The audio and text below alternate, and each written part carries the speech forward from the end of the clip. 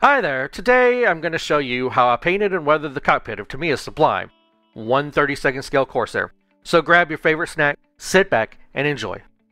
Construction of the cockpit subassemblies is straightforward, so we're going to jump straight into the painting.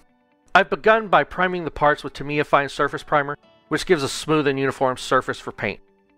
Before I begin laying down the main color, I need to do a bit of prep for some light chipping effects. For this I'm using MRP white aluminum. This goes down right over the Tamiya primer. You don't need a gloss black base for MRP metallics, especially for a base layer to chip down to. However, a smooth surface is always a must with metallics in my opinion. Just a couple light coats and we're ready for liquid frisket masking. This is just a product I get at the local arts and crafts store, but several modeling brands have masking fluid that will work equally well. This is where hoarding that Eduard packaging material comes in handy. Tearing off a small piece, I dip it into the fluid and much like dry brushing, I remove most of the excess. Dab the fluid onto the part you want to chip. If you're unhappy with it, you can remove it and try it again. You can also come back once it's dry and refine your shapes by removing select bits here and there. I'm now ready to begin laying down base paints. First I'm going to start with the shadow layer. To create this, I'm using the base MRP interior green and I'm mixing it with NATO black about 50-50 to create a shadow layer. This is laid down evenly on each subassembly.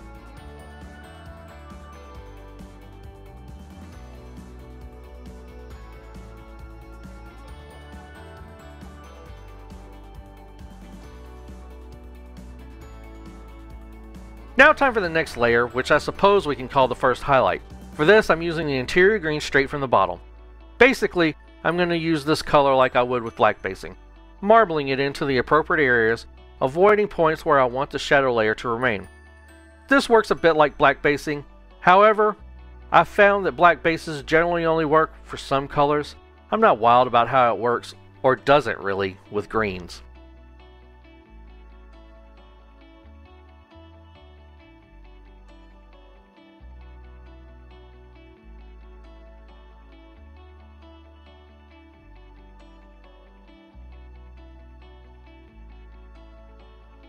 Now that all the subassemblies are painted with the highlight shade, the remaining paintwork will be done with brushes. Now I'm going to mix up an even lighter green color for raised highlights. For this I'm using Vallejo model color green and yellow and mixing them in my wet palette. A 3.0 brush is used and I carefully paint raised details like the cockpit ribbing. The forward bulkhead provides a great example of this technique in action. I don't care if it'll never be seen, this is a lot of fun, so I can't resist. Remember this is just one of many steps. These highlights will work in unison with the base work I've already painted and the washes to come. Things will all come together to create depth and interest in the finished product. Now I'm going to focus on detail painting the consoles, knobs, and whatnot. To start, I'm going to mix some Vallejo black gray with a drop of straight black to darken it just a bit. I don't want these consoles to be pure black, at least not entirely. Once I have this base down, I'll come back and hit some various areas with pure black just to shake things up a bit.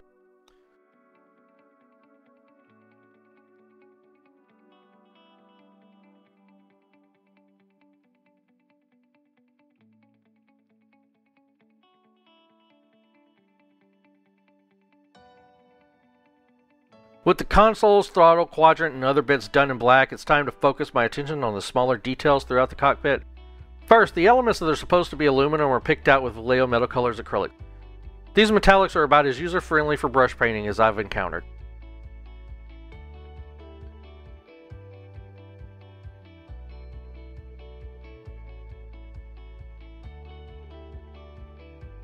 And now all the other details. A few red switches and buttons, and then the rest of the knobs are done up in gray. Next I paint the seatbelts on the lovely Barracuda Studios resin seat. I went with a resin seat with molded belts because personally I'd rather paint harnesses than deal with the tedious fabric belts. In my opinion, molded belts can look just as nice if they're painted well. Whether I'm able to do it, I will leave to your judgment. I start with Vallejo khaki. Once the base is down, I lighten that color with about 50-50 white, and I come back to attempt to paint some highlights to add some depth.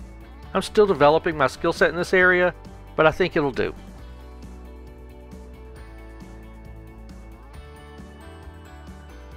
Now I want to turn my attention to the headrest. We will replicate the warm weather effect by first giving the part a base of dark brown paint. Next I tear off a small piece of sponge and I distress the part with a light brown mix. I like to think of this technique as chipping. Of course leather doesn't chip per se, but the technique is the same. I also come in with the same color and fine brush and add some scratches and cracking. Anything I'm not happy with I'll correct with the base color. I think this looks the part, even if I'm still not convinced I know what I'm doing. And if you're enjoying this video, please tap the subscribe button and be sure not to miss the next episode. This is a great way to support the channel and it just takes a few seconds. Thanks! And like that, all the painting was done. Now I dealt with a couple of small decals. Because I just had a couple small ones to deal with, I didn't do any special prep. However, I do use some Tamiya decal adhesive. This is the glue you put under the decal to ensure proper adhesion, thus eliminating the risk of silvering. After that was dry, I hit the decal with Mark Fit just to make sure things were snug and secure. Now I mixed a dark green wash using Abteilung oils. Smoke and faded green will do the trick here, and now things start to come together.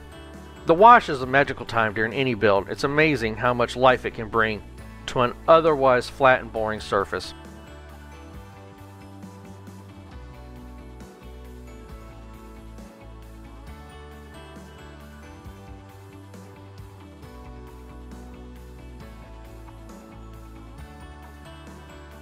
And once the wash is dry, I work away the unwanted bits with a cotton swab. This is where using oil pays off as even though the wash is dry, the oil is still workable. Control is the name of the game. Now the only thing left to do is seal everything up with a flat coat. For this I like to use Ammo One Shot Primer, the transparent version. Though sold as a primer, this stuff has an amazing flat coat. It's very effective at helping hide decal film as well. It goes on wet, but like other one shot slash badger primers, it levels wonderfully.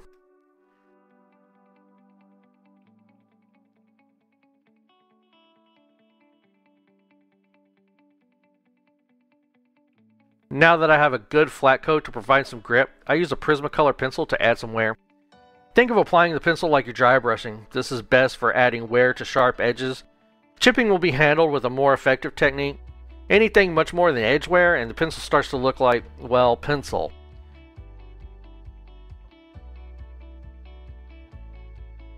Enter the trusty silver ammo oil brusher. I'm not using the supplied applicator. Instead, I opt for my trusty 3.0 brush. This oil product works amazingly well at doing brush painted chips. The beauty is that unlike an acrylic paint, it's stupid easy to clean up if you make a mistake. Also, you can see, it looks a lot more like actual metal. The one disadvantage is you must be extra careful not to touch it while it dries. The flat coat will help with the drying, but still, the oil is easy to disrupt.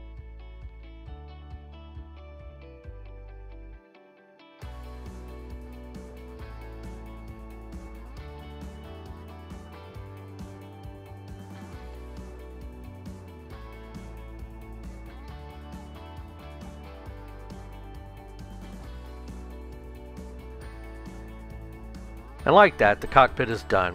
Now it's just a matter of bringing the sub-assemblies together. Again, this is Tamiya, uh, no surprises. There's nothing to catch you off guard here. Let's get this thing together and close up the fuselage and start thinking about the work ahead. So keep an eye out for the next episode when we take a look at Tamiya's wonderful effort with the R2800 radial. And if you like this video, be sure to check out the rest of the channel. Thank you and see you next time.